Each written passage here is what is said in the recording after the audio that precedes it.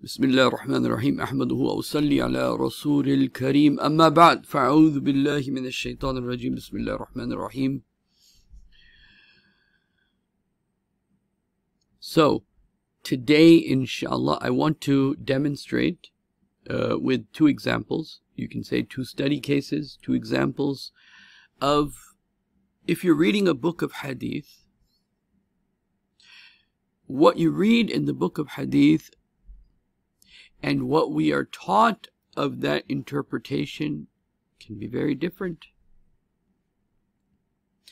And the difference between a muhaddith and a faqih. A person who collects the narrations of the Prophet or the narrations of the companions of the Prophet or those after them, collects them.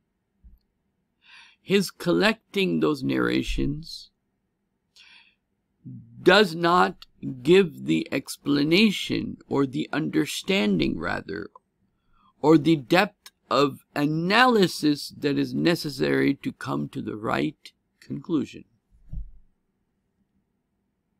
And so because the fuqaha came first in Islamic history, Imam Abu Hanifa, Imam Malik, Imam Shafi, Ahmad Hanbal, rahimahullah, they all came before the muhaddisin, Imam Bukhari, for example, came way after, almost 300 years after the Prophet So the people that that formulated the rules of Islamic law, the fiqh, the deep understanding, by which the, then the texts would be understood.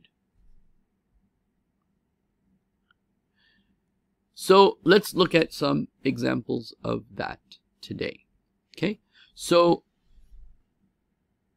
let's look at two examples. The first one is taking back a gift.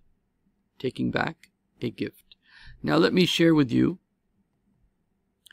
what the Prophet ﷺ said. عن ابن عباس رضي الله عنهما قال النبي صلى الله عليه وسلم العائد في حبتي the one who takes back his gift كالكلب يقيء is like the dog that does qay, that vomits, ثم يعود في قيئه, and then he returns back his vomit, meaning he takes back his vomit. So, for example, Imam Bukhari on this very issue, one of the fatwas, because when a muhaddis writes a chapter, and in fact, let me just uh, go back here and make sure that you have this in English too. The Prophet said, Sallallahu Alaihi Wasallam, the one who repossesses a gift, meaning after giving it, is like a dog which vomits and then returns its vomit. And this hadith and this version of the hadith is agreed upon muttafaqun alayh. Okay? There are two versions of this narration. This is the stronger version. The one who takes back his gift is like a dog which vomits and then returns its vomit. I'll mention the other version uh, in a little bit. Okay? So, Imam Bukhari, being a muhaddis, what does he say? لا يحل لأحد أن يرجع في حبته وصدقته لا يحل It is not halal, it is not allowed لأحد for anyone أن يرجع that he takes back في حبته that he takes back his gift. Why? Because the Prophet said صلى الله عليه وسلم العائد في حبتي okay? The one who takes back his hibba his gift is like the one is like the dog that takes back its vomit okay? Now how does this reasoning go? So now if you only look at the hadith in which the prophet gives a negation a prohibition don't uh, in the prophet says don't do something don't take back the gift. It's like the dog taking back the vomit. So how does Abu Hanifa or the fuqaha, how did they understand this narration of the Prophet they first say, well, the agreed upon text is that the one who takes back the vomit is like the dog that takes back its vomit. So the first question is if this is the authentic version of the narration, then, and by the way, this is this narration is mentioned by multiple sources, multiple turuq, multiple uh, uh, chains from different cities who didn't know each other saying the same thing, including Ibn Abbas, Ibn Umar radiallahu anhuma. So, so what do the fuqaha say? Now, so, some of you that read this probably in a book, the Prophet said, the one who takes back a gift is like the dog who takes back its vomit would say, okay, there you go. The Prophet said it, sallallahu alaihi wasallam. We love the Prophet, and we want to hold on to the Prophet, and therefore it is wrong to take back your gift. That's the conclusion we should all reach to if we read the text. The faqih, Abu Hanifa, Imam al-A'zam, he says that the tamthil, the example the Prophet gave, was of a dog taking back its vomit. Of a dog taking back its vomit. It is haram, it is najas for a mu'min, for a Muslim to take back its vomit. For a human being to take back its vomit is najas. Just like you can't drink blood. It's najas to take back your vomit. And those of you that know that if qay, if the vomit comes out a certain amount, like a fistful in Ramadan, and it, you swallow it back, your fasting is broken. So, Imam Abu Hanifa says, but for the dog to take back its vomit is not a prohibition of Sharia for the dog. So therefore, it is not haram because it is allowed, it is disgusting. It is a disgusting act, but it is not against the, the law of Sharia for a dog to take back its vomit. So, what do we understand? this is one part of what I'm trying to explain is that what you read in the text is not necessarily the understanding that the fuqaha have come to. So it's not only important to know what the text is saying, it is also important to know what the fuqaha have pondered over, reflected over. The second aspect is that they never look at things in isolation. So are there other traditions about hiba, about gifting? So we find yes. There are other narrations.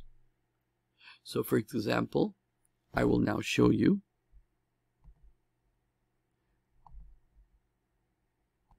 So the Prophet said, Sallallahu alayhi Wasallam, in the translation, it is not permissible for anyone to give a gift, then take it back, except a father, with regard to what he gives to his son.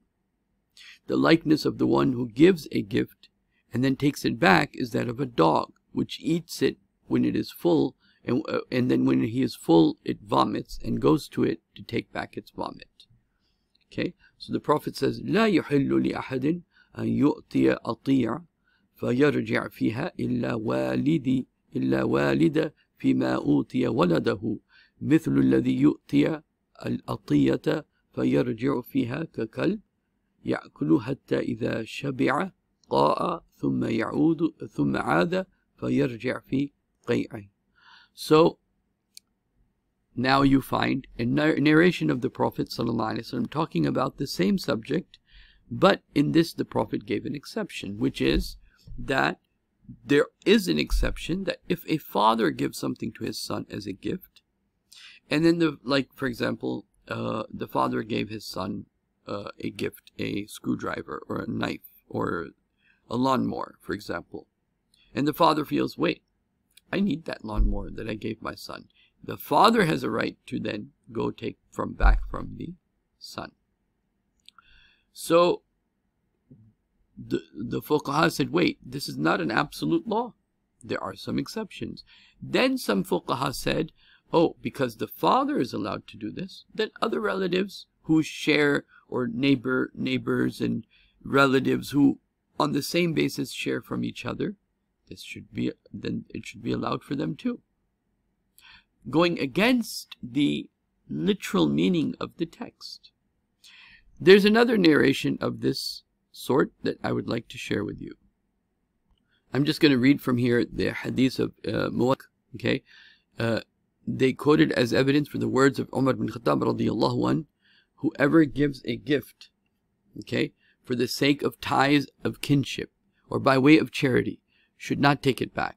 Whoever gives a gift thinking that he's seeking something in return, and then it is up to him whether he wants to take it back in the event that he's displeased with when he gets with what he gets in return. So in other words, the Umar bin Khattab is saying that if you give a gift to someone, you give something to someone, but there was an understanding between two people. I'm going to give you this and you're going to give me this. Or there was some understanding.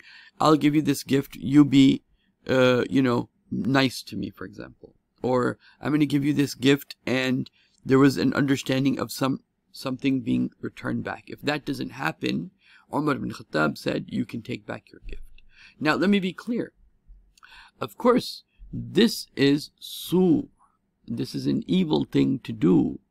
Or it is not the best behavior, let's say, for a relative or even for a father or anyone to take back a gift. But it is allowed. It is makruh. It is disliked. It is not from the character of the Prophet. But because of circumstances, situations, you gave someone something and you're in desperate need, you can take it back if you're the father, for example. Okay.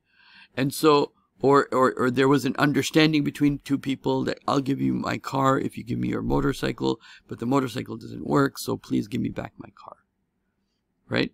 So, there is the literal understanding of the narration, and then there is the the deeper faqih, the fiqh of the understanding of the narration, which is that it, it is number one that you would have to solve the issue of if the the vomit that that is being discussed is referring to human vomit or a dog, and the strongest narrations are about the dog. So the one who repossesses a gift is like a dog which vomits and then returns its vomit.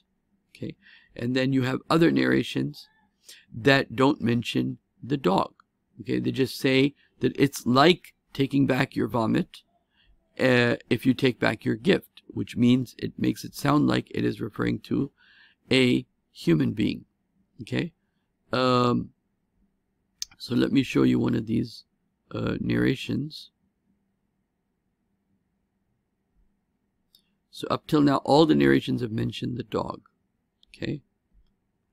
And uh, let me see if I can find the narration that does not mention the dog. But one of the chains says, He who takes back his present is like him who swallows his vomit. And so, uh, Al-a'idu fi hibbati kal-a'idi fi qay'i. So, the one who takes back his his gift is like the one who takes back his vomit. Well, this would be very different in analysis than the one that mentions the dog. So you would have to first determine which narration is more authentic. Then the second thing is to see, okay, are there other narrations about the same subject? Oh, there are some exceptions. So then that tells you what? Taking back a gift is very, if it was to be done, depending upon the situation, could be a very disgusting behavior a very makruh behavior, but it's not like drinking alcohol or murdering someone or eating pork or doing magic or doing shirk like the like the haram mutlaq. Okay, it would be disliked. It would be a sin possibly, and at other times this same thing. For example, a father gave his son a screwdriver as a gift. The father sees the son is not using his gift. He says, "Give me back my gift. I'm going to use it because I need it." well, then it may not be so bad. So depending upon the situation.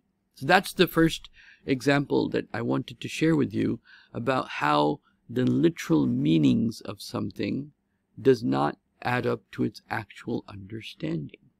Okay, the second one may be for some people even more interesting and more relevant. So Bismillah ar-Rahman ar-Rahim, Ramadan is coming and so I want to offer uh, all of uh, my subscribers, my listeners, my students, a chance to participate in something really amazing. As you know, we have a very amazing community where we are. We are in a place where there's about a three to five mile radius of of dominantly Muslims. And particularly in that, Jami Masjid plays a central role, the masjid that we're part of. And of course, we're getting ready for Akhirul Zaman. Uh, and so that doesn't come for free. Um, so let me share with you uh, some of the activities that we've been doing, some of the da'wah work we've been doing. Hopefully, inshallah ta'ala, you will uh, appreciate what we're doing. And then I have something to request from you.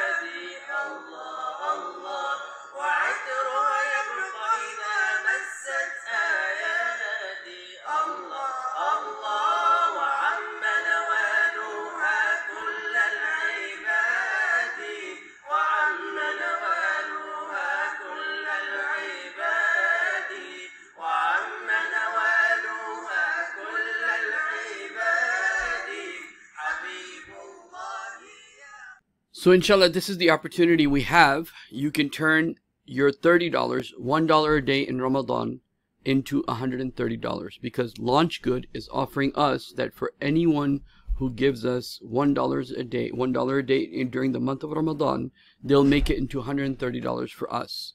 So LaunchGood is matching $100 for every donor who signs up for their daily Ramadan giving challenge.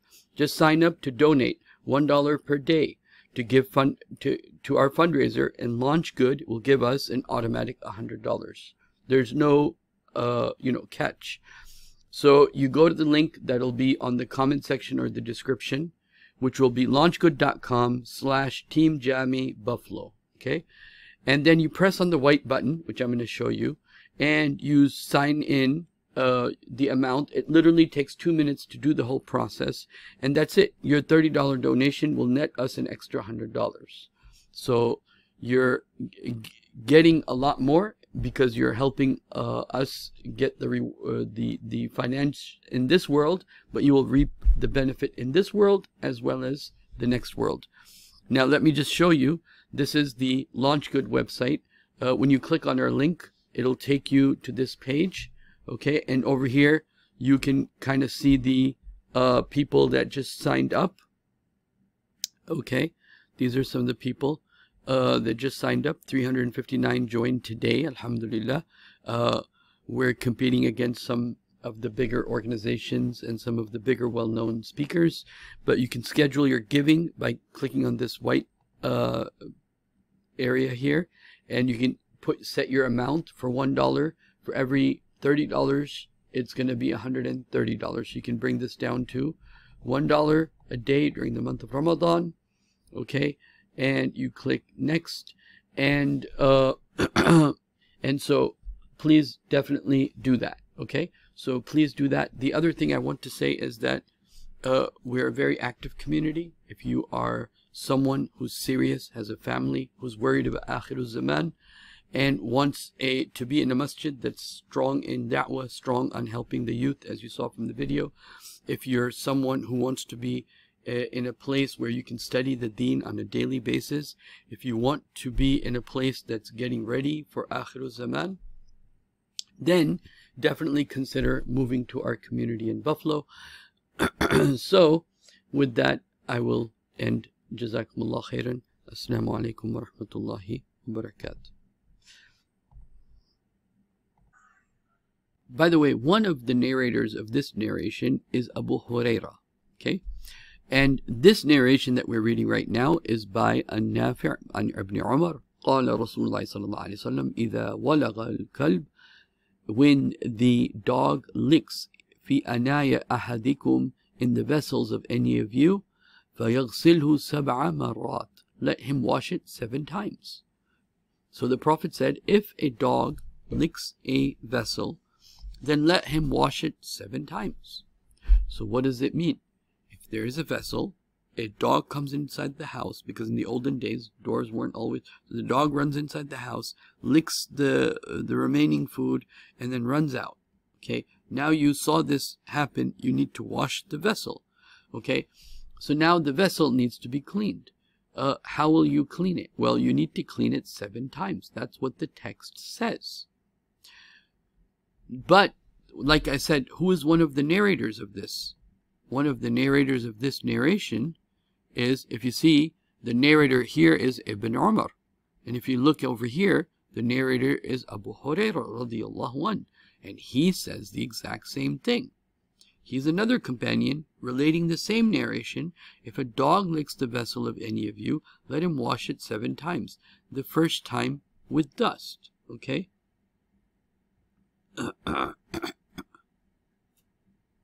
So the Prophet says, إِذَا وَلَغَ الْكَلْبُ فِي أَنَايَئِ if a, if a dog licks the vessel أحدكم of any of you فيغسله let him wash it سبع مرات seven times وأولهن and let the first of it be بالتراب with dust okay like dry sand okay dust so and who's the narrator Abu Hurairah radiallahu anh but guess what Abu Hurairah anh himself, he's the one who's narrating the tradition. And he himself, when he saw a dog lick a vessel, how many times did he wash it? He didn't wash it seven times, he washed it three times. So if you are just reading the book, you're not going to get the understanding of the predecessor scholars. And so the predecessor scholars, they said, wait, how come Abu Hurairah is the one that is narrating this hadith and he's the one who washes the vessel three times and not seven times? So, now let me mention this again. I'm going to just read from here, uh, from the book entitled Fiqh al-Ibadat The Hanafi school reads, if the impurity is impurity of a dog, it should be washed seven times. And it is desirable for one of them to be with soil. As Abu Hurairah said, the Prophet said وسلم, to purify one of the receptacles of which a dog has licked inside, one should wash it seven times and the first of it should be with soil. The hadith mentions that it is recommended, not obligatory, as it was narrated by the Prophet وسلم, was asked about the dog that drinks from a receptacle and he said, wash it three times, five times, and seven times. Abu Hurairah said, if a dog licks something, wash it three times. So how did Abu Hurairah, the companion of the Prophet ﷺ, understand the narration of the Prophet? Wash it seven times. He, he understood it that it's the Prophet is saying, let you wash it seven times, meaning it's recommended, but it's not mandatory. The mandatory minimum Abu Hurairah himself practiced three times. And so the Hanafi stance is the minimum is three times, the recommended is seven times, but you would not get this understanding from simply what? Reading the text. Why do I say this? I say this because there are many people that pick up Bukhari and Muslim and Abu Dawud and Tirmizi and the books of Hadith, and then they think that they got the understanding that they're supposed to get. Wrong. Not at all. Not by far. Not by far. And then people think, oh, but the hadith says this and you're saying this. How can there be a contradiction? How can you contradict with the Prophet? Who loved the Prophet more than Abu Hurairah But his understanding of what, because the, the words are not 3D picture. They're not a 3D picture. So Abu Hurairah is giving us the 3D picture. Is giving us the full picture which is that this hadith is not a command, it is a recommendation. The minimum to wash to an impurity in, in the fiqh of Abu Hanifa, for example, is three times. So, why is this important? There are people out there that will tell you what the hadith means and says as if they, they have read all the books of hadith when they can't even mention some of the most important books of hadith by name. Right? They, they've only read Bukhari or Muslim or parts of Bukhari and Muslim, and they think they understand, have the whole understanding of the Islamic uh, jurisprudence. They don't have the traditional understanding. They don't have the traditional training. They've never looked at the original books. They've never looked at the original original copies that were written by our scholars. Only the modern day, you know, pages, maybe they've seen some of them. And even that nowadays mostly you would see online, which is then sometimes changed and tampered with sometimes even from the original text that is actually there. And so people talk like they've touched and smelled and looked at the copies, the original writings from Hyderabad and other places where Hyderabad, Deccan, where they used to write many of these uh, books of hadith, right? So people can't na name the books, forget about telling you what the meaning of the hadith is. And this is just to show you the difference between if you read a tradition of the Prophet and it doesn't make sense, then just know that the tradition or the scholars of Islam may not understand it from the perspective of what it's trying to say in the text. The actual understanding might be quite actually different, like in these two cases. In the first case, yes, it is disliked to take back a gift, but in dire circumstances, or if you're a relative, or if the understanding between two people is not met, then you can take it. Otherwise, it's makruh, makruh tahrimi, or makruh tahlili, depending upon the situation. Over here, you have a dog that licks from the di dishes. The Prophet said, Sallallahu Alaihi Wasallam, the Prophet says, wash it seven times. Yes, you should wash it seven times, but it's okay to wash it three times. Okay, so that's the minimum requirement to remove an impurity is to wash it three times, as the narration of the Prophet ﷺ mentions in general that if there's an impurity, wash it three times, five times, or seven times. So I hope this gives uh, my beloved brothers and sisters an understanding that what? That what you read is not necessarily the actual understanding. And unless you go through this process of many, many, many, many traditions of looking at, okay, this is the this is the lahir of the text. This is the actual fiqh of the text. This is the actual meaning of the text.